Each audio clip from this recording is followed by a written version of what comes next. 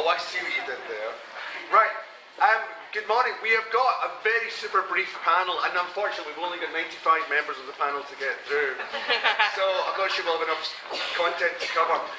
The topic of today's discussion is uh, what next for education? What does the future hold for education? There are a great many people who are employed as uh, futurists and, and, and fortune tellers and horoscope practitioners of education, but what do some of the most informed, articulate, and intelligent people on the Twitter sphere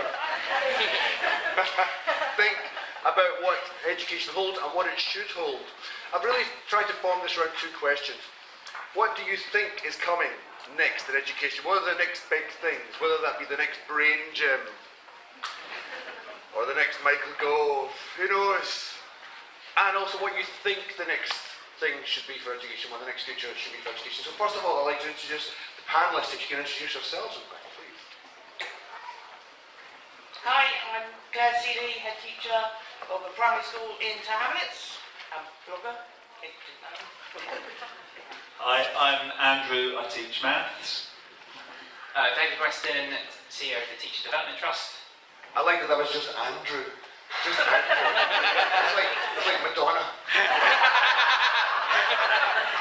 Surely you know you've made it when you've got a mononym. Um, I'm Tarjinder Wilkinson and um, I'm a primary school teacher and a well. Hello there, Mary Myatt, um, independent school improvement person. Sam Twiselton, Director of Sheffield Institute for Education, and working for the blog. Like how everyone stumbled over their job roles there. I'm not too sure. What do I actually do? And I'm Tom Bennett, professional nobody.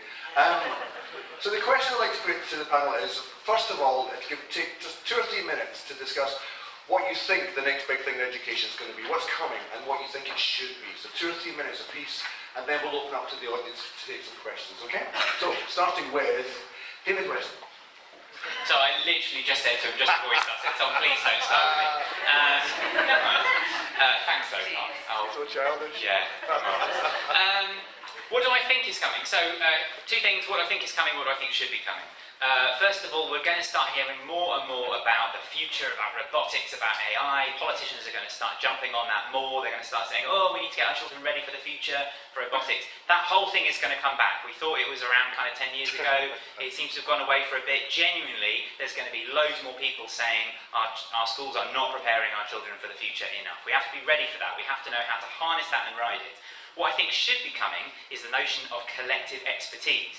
So we've got really good ideas in our system, but it's not connected up very well. How do we make sure that the best ideas in the system are available to everyone in the system? How do we make sure there are people who move around, grabbing good idea there, helping teachers learn it here? How do we find really good things and connect them through networks and resources and, dare I say, textbooks and things like that? How do we make sure we're sharing really good expertise around? So Number one, future shock is coming, we've got to be ready. Number two, I think we can solve that through better use of collective expertise. Wow, what a high bar that was. Let me pass you over to the equally high energy Andrew. Hi. Um, I think in the next year or two, we're entering a period where there's little central leadership from government. That there's not ed- education's just not a big issue for them at the moment or for the foreseeable future. And I think that has already had a knock-on effect because we've had years where there's so many big issues in education, and now there aren't big issues; it's all small issues. Like the, the I mean, the biggest controversy um, the last few months was whether um, children in early years could sit at a table for 20 minutes. It, it's not the kind of debate we were having before. Um, and I think also because of that lack of leadership, there's more experiments, there's more schools doing their own things, and people telling each other what they're doing.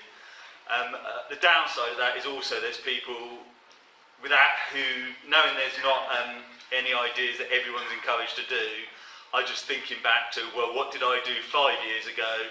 I'm going to present that as something new. Um, in terms of what should happen, I think we've got all these new structures and none of them are bedded in. And it would be nice if people could just see what was actually working and there was, you know, people could agree on what was successful and learn from it. And I think the other thing um, that just doesn't seem to have changed in 15 years, well, yeah, I think it's about 15 years, um, which is management structures. The, a lot of schools, the way they're managed, is still what they introduced when TLRs were introduced, and it hasn't changed at all. Um, and I think there's a lot of room for innovation there. Thank you. Clare? Hi, I think one thing that's going to happen, I think it's already beginning to happen, and I think it's going to be, going to be the next um, thing in terms of, of, dare I say, pedagogy, maybe I mean curriculum, anyway, one of those things, um, is that when I started training, when I started teaching a long time ago, um, and it's been the dominant paradigm ever since, is that you do whole texts, you approach things from the whole, that was more meaningful, um, rather than going for the real sort of nitty gritty, honing down, finding what the, the, the most basic thing was. And I think that we're really moving, starting to move away from that and looking at the, the, the sort of more direct instruction thing. I think that's beginning to bubble through now. And of course, I can't remember Mr. Barton Maths. What's his book? What's his first name? Can't remember his name. Craig Barton's brilliant book um, on how I wish I'd taught maths. Really looking at maths right down, trying to find absolutely what's what's the maths actually made of. What's the most basic thing they need to know, and teaching it step by step by step. And then the other thing is on the other side, I'm looking at English, the book The Writing Revolution, and really said that instead of teaching these great big genres and great big pieces of writing and getting kids to write lots, how about let's start with the sentence, let's get that, let's get that really right, let's really craft that. And I think that moving that paradigm from doing big things and then trying to fit the technical in to really getting the technical stuff right from the beginning is going to be a big shift that's going to take time, but I think that's the way the paradigm's going to go. And also all schools going to go broke, and it's going to be like the NHS. I don't know what the educational equivalent uh, is of of um, you know, patients on trolleys, but whatever that is, that's going.